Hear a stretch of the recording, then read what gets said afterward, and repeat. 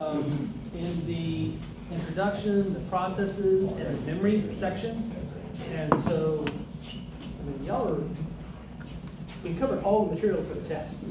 It'd be really convenient to take the test on Tuesday. I said something about Thursday, so y'all still want it on Thursday? Yes. okay. We're gonna have to start the next stuff, the file stuff. Um, we can't just like do nothing for an entire class. Uh, but we will still have the test on Thursday. So, this is a quick sanity check. Let's a few more types of problems that might be on, that will be on the test, um, from the memory side. Okay, so we talked about segmenting, okay? You can go ahead and, you can have fixed blocks of memory. Um, and so everything's, you know, 4K and 4K and 4K and 4K. And if that's the case, then all you have to do is have a page file and say, oh, this goes, this is going into, you know, page three or page five. And you take the three times the size of the uh, block, you know the base address, and you're good.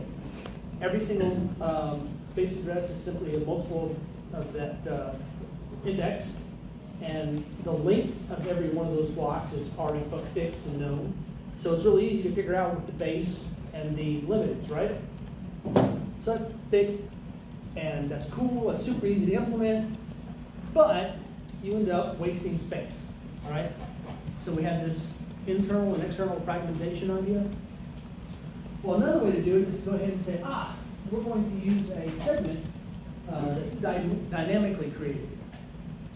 So if you're going to do that, then you have to have that base address. And you can't just say, oh, I'm at index 5, you know, and say, aha, it's a fixed size, I know exactly where 5 is. Now you're going to go ahead and say, oh, if I'm at 5 or if I'm at index 3, um, where does that actually start? And since they're not a fixed size, you have to give, well, and how long is that? So if we do have a table like this, and we give an address, um, logical address, how do you get to the actual fixed physical address? So in this case, let's say we're doing 8995. We look down there and say, is 8995 between this and this plus 20, uh, 2100? Well, that's going to be between 400 and 2400. Obviously, it's not. Well, is it between 3 and 5? Nope. Is it between 89965 and basically 99965? Yes. 8995 is above the base, but less than the baseless length. So we're going to be in this area right here, right? Now, if the base, um, so you go ahead and do your offset, hey, I'm 35 into that, and then you go ahead and calculate from there, saying I know your physical address. So that's the kind of problem we can do with segmented. We can do the same kind of thing with uh, fixed. So you just get a page number, you go ahead and flip flop the, the uh, address, and you're good. All right, so let's roll down. Hold on. Yes. To, to find eight nine nine five, Yep. we first check to see which index, uh, for, for which index is it both above the base, or is it, does it need to be below the base or above the base? Okay, well, if the base is here.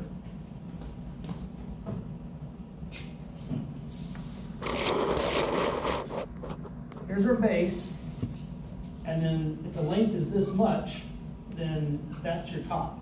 So it's between the base and the base plus the length. Does that make sense? Oh, wait, okay. So So it that means be, greater than or equal to base and less than or equal to base plus length. okay, okay. You're just in that range. And what is the part about kilobytes mean for us?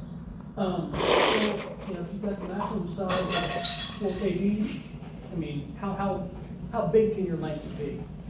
Especially if you're, you know, if you're going ahead and doing something where you can only allocate, you know, four KB slots, maximum of four KB. So this one might be allocated that much, um, that might take the full four KB. In any case, this is probably about as difficult as you're gonna get on the first step. So, yeah. What would, what's the answer for that question? What was it asking? Sorry, I'm, it- that one lost me. Is the answer index two or? Well, it's gonna be in two, okay, Mhm. and it's gonna be thirty, uh, offset of thirty. That second one. Okay. Okay, so let's go on to the next one. Um, if we have a four, or I'm sorry, one meg block of memory, and we're using the buddy system.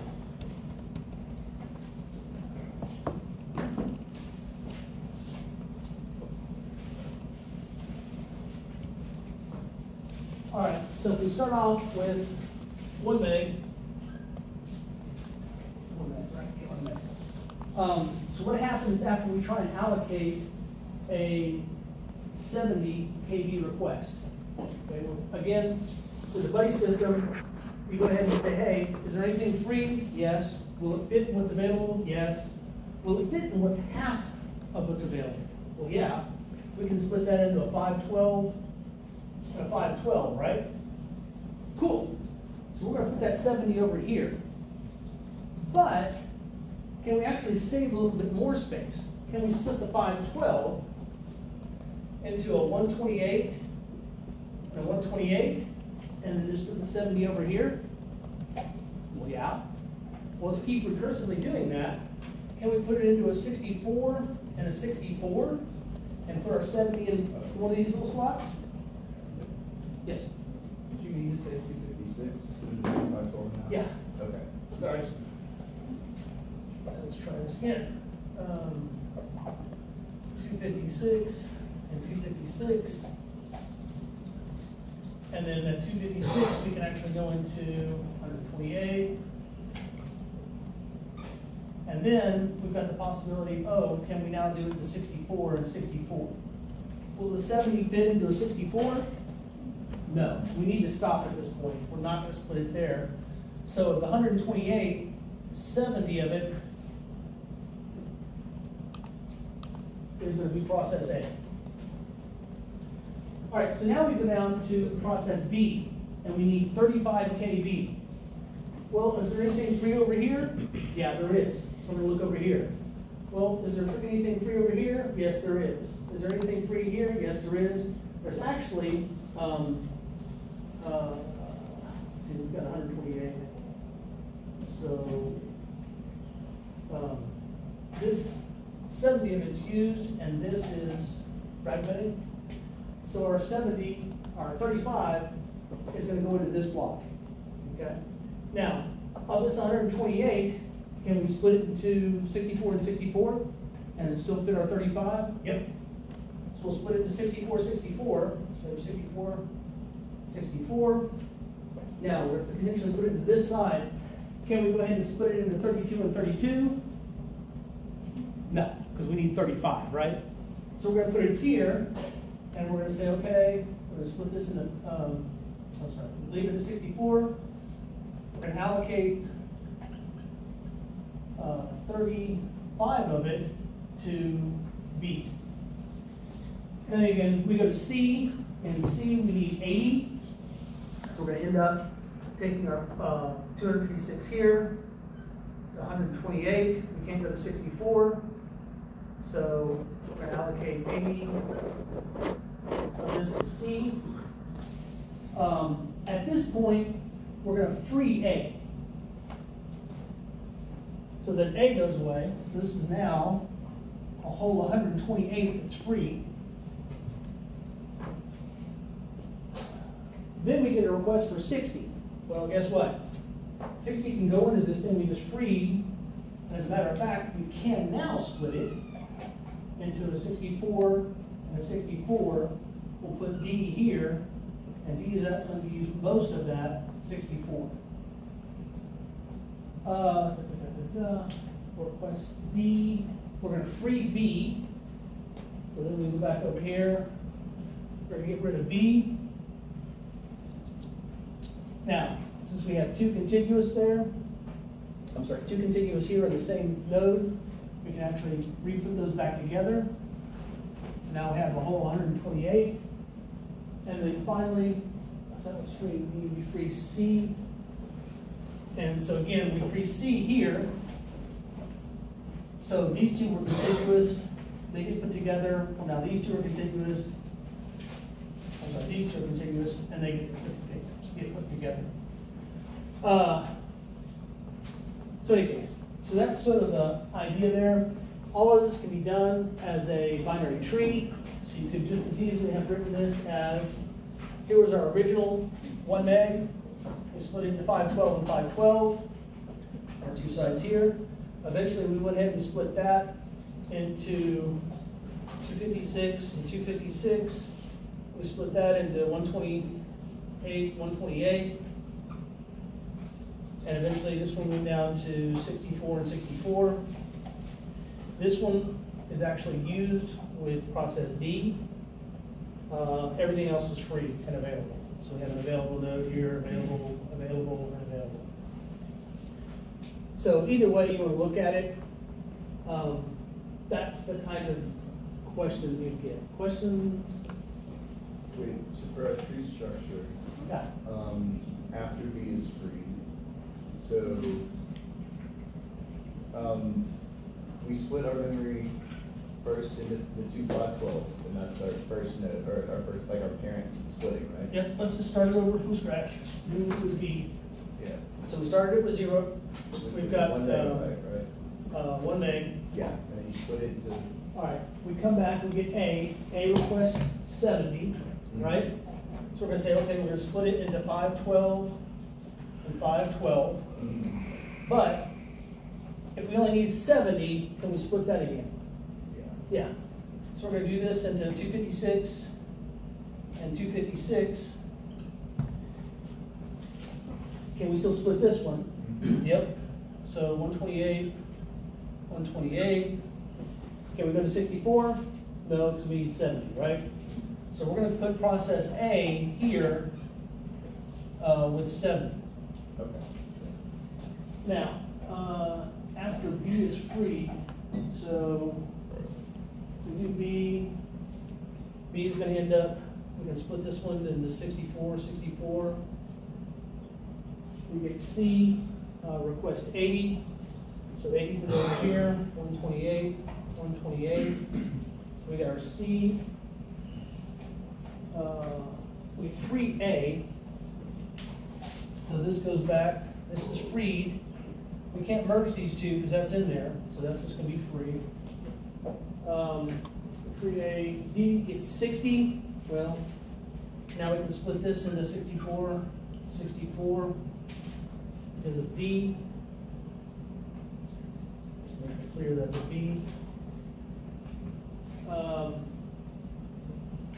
D. So now we free B. B is over here. The 64, 64 can get combined, so it goes back to one twenty-eight. So that's basically the state it would be at where, uh, after B is free. Does that make sense? Yes? Do you show that step by step on the exam, or do you just want the final product? No, this is, this is all I'm looking for, this or this. Now, if you wanna write it each step, that makes it easier for you, that's fine. But if you just wanna write that and then erase, that's fine too. Yes?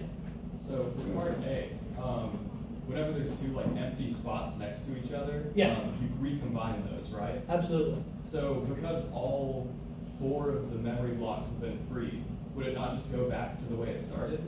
Uh, did we free D, free C, This free A is in there as well. D? Oh, yeah, yeah, yeah. If we freed all of them, as soon as we free D, and that's gonna go back and say, oh, we've now merged the 64, 64. Oh, well, those are now together.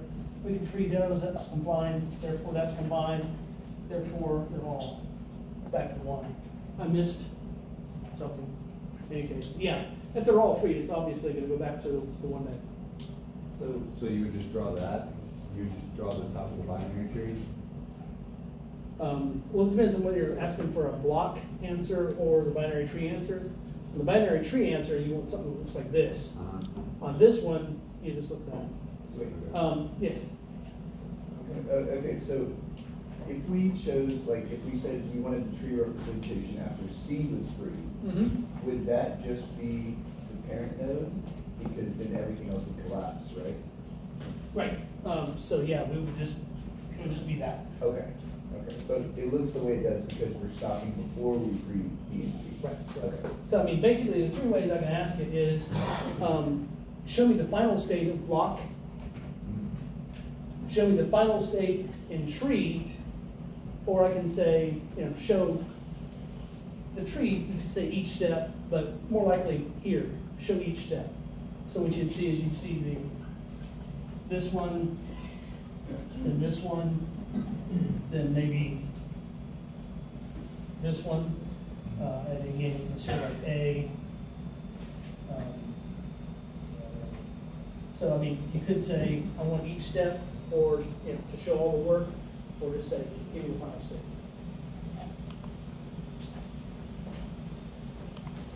Okay, um, uh, fixed versus dynamic, okay? When we're doing our our partitioning or our paging, you know, you have fixed size blocks or you have dynamic blocks. What are the advantages and disadvantages of them? Um, What's the next one talks to that? Um, what is internal fragmentation versus external fragmentation? Uh, we talked a lot about placement algorithms. So if you do have memory, and you do have some fragmentation, how can you fix that? Well, what's the very expensive but easy way to fix fragmentation? Defragment, right? Compact it. But the other thing is if I have A here and B here and C here, uh, where do I put, if I got an E coming in, do I put it here? Do I put it here? Do I put it here? Do I put it here? And so there's various placement al- algorithms, putting the first slot, the next slot, the best slot, the worst slot. So what are the advantages or disadvantages doing something like that? Uh, so that's placement. So that's one option. The other one is replacement. So I've got all these things in here, and I've got a new process D coming in. Because of the CPU or whatever, I've got to get something out. I've got to kick the process out. Which one do I choose? Okay? And so what are some of the algorithms you can use for replacing things? So if I have process A, B, and C, and I gotta kick one of them out, how do I choose which one to pick, which one to kick out? Access. You can have a queue, which is gonna be first in, first out, right? Mm-hmm. What's another option? The oldest access. The oldest, least recently used LRU. Any other thoughts? Okay, there's like five of them. Uh, so another five, what are their advantages and disadvantages? Okay, so that's replacement algorithms. Okay, what is a working set? If I've got a um, program, and I've split that program up into, here's the, this, uh, this part of the code, this part of the code, this part of the code, this part of the code. I'm swapping in pages of that code. What is the working set? like actually being used by the CPU. The actual pages that are being used in the program, right? So I may have a hundred page program, but because of the for loops and because of the data, I may only run page one, page two, and page sixty-seven, right? So do I have to have all one hundred pages in memory for this thing to run? How many pages do I have to have in memory? Just the working set. Just the three, right? And the three pages that I have to have, that's my working set. Now, if I have ten pages available, and the program has a working set size of three, is it gonna run efficiently?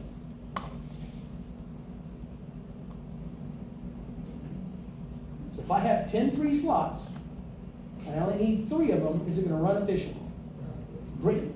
What if we swap them? What if I have three open slots and I have a working set size of ten? Or a drawback switching them out. It's gonna pull in the first one, pull in the second one, pull in the third one, as soon as it goes to the fourth, it's gonna kick the first one out, put the fourth one in, and then it's gonna need the first one, so it's gonna kick, kick the second one out. It's gonna call, go back and forth, it's called thrashing, right?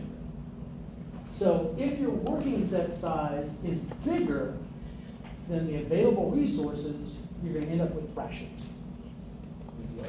Thrashing, Rash, thrash.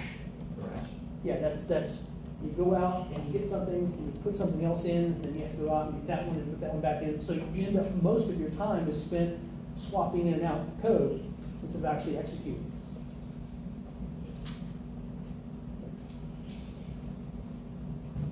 Um, and again, paging versus segmentation, you know, paging, fixed size blocks, segmentation, variable size blocks. So if you know those, then you will, you pretty much have everything that's going on test. Now, um, I'm like brain dead because I'm in the middle of my top exams, so I did not get a chance to do a really nice review for y'all, so I'm planning on doing today. So instead, uh, what I did instead is I just made all the notes available to you. So you can now get all the slides for introduction, process, and memory. So I apologize for not putting that review together, but hopefully having all those slides from all the lectures makes sense. Everybody good with that? Hopefully, I won't have to do that next time. Um, all right. So last time when we looked at this,